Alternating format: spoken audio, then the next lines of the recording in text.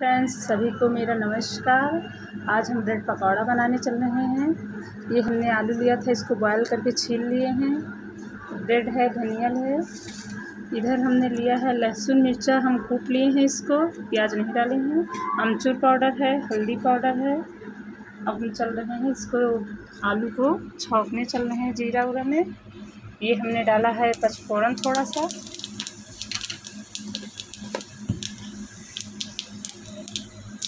अब हम इसमें लहसुन मिर्चा जो कूटे हुए उसको डालेंगे।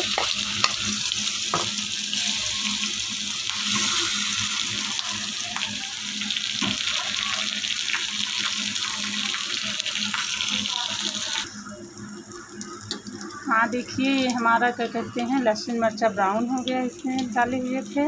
अब इसमें हम आलू को डालेंगे।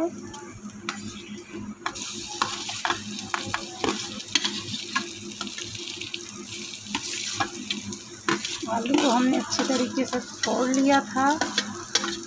इसको हम थोड़ा सा भूजेंगे।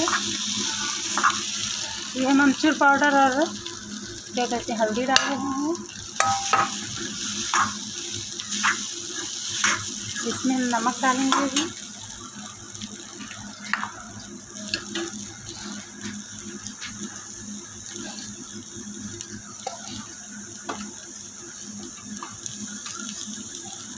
ये नमक हमारा डल गया है इसको मिलाएँगे अच्छे से।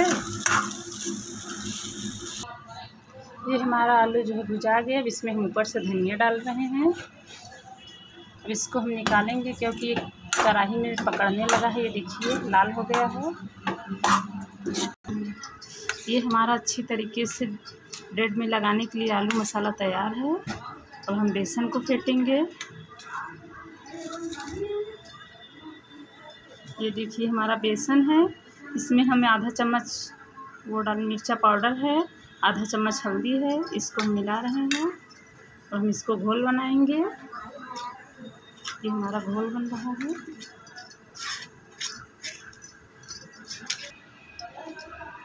इस तरह से हमारा जो है घोल बन के रेडी हो गया है। ये देखिए, अब इसको हम ब्रेड को बनाने चल रहे हैं। आलू लिए हैं। ब्रेड इस पर हम आलू लगाएँगे। बराबर से।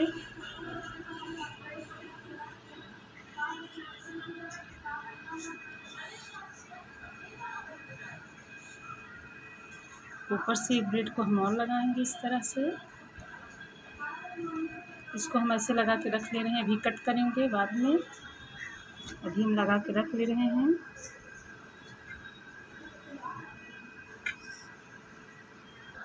ये हम ब्रेड में आलू लगा लिए हैं, इसको आराम से चाकू से हम कट करेंगे। ये देखिए, इस तरफ़ से हमारा कट हुआ है।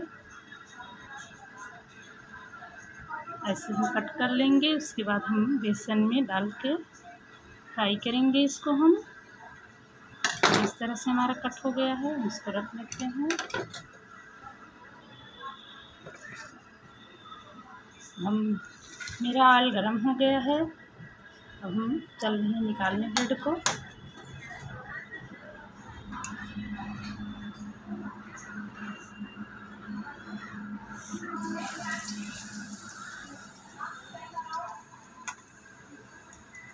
इस तरह से भिगो के हम अच्छे से ब्रेड को निकालने चल रहे हैं।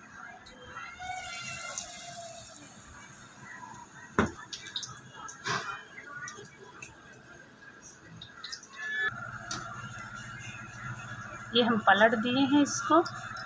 अगर आपके घर पे कोई जल्दी से मेहमान आ जाए तो आप झटपट टेस्टी पकौड़ा दस मिनट में तैयार कर सकते हैं इस तरह है। ये देखिए, हमारा पकौड़ा जो है ब्राउन हो रहा है। दोनों तरफ़ इसको ब्राउन कर लें जल्दी से।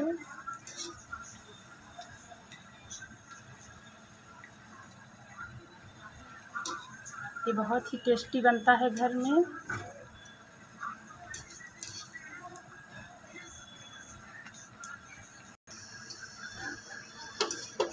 ये देखिए, हमारा ब्रेड पकौड़ा बन के रेडी है।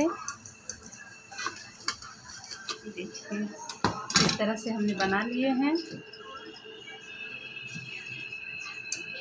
हाँ फ्रेंड्स अगर आप लोग को अच्छा लगा हो तो कमेंट ज़रूर करिएगा। और मेरा तरीका पसंद आया हो तो मेरे चैनल को लाइक शेयर सब्सक्राइब करिएगा। प्लीज़ दोस्तों, धन्यवाद।